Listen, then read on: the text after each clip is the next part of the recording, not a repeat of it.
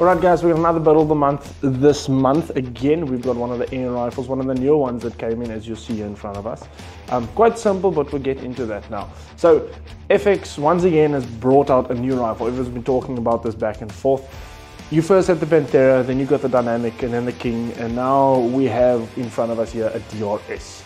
You'll see that this looks like ordinary rifle due to the fact that it's just one tube. So what makes it special is that all the air is over this barrel. So from here till that point over there is where all the air is sitting in the rifle. So yes, when you fill up the gun, you're filling up your barrel, to put it that way. Um, what's nice is this is just a standard synthetic. The pros are on their way. And if this is not as good as what I think it is, I just don't want to know what the pro is going to be like as well. But it will be here and you will see a video on that soon.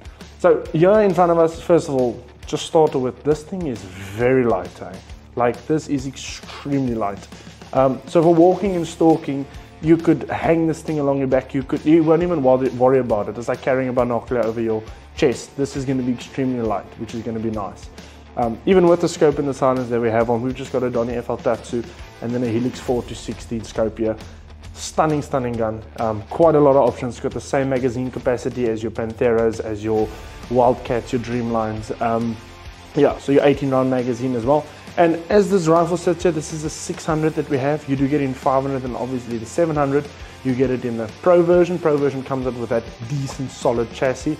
Um, in this version, you get the synthetic and then you also get the wood. The wood is still coming as well. Um, we will have a video on that as well. But yeah, for overall, this is pretty much ticks all the boxes. Very nice. It can shoot up to about a 23 grain. If you want to, you can push it to a 26. Um, but it's got all those capacities. Shotgun is a bit on the low side, um, and that's also what makes it nice and light, is there's no bottle. It's just sitting on the top. This is a 208cc tube around here.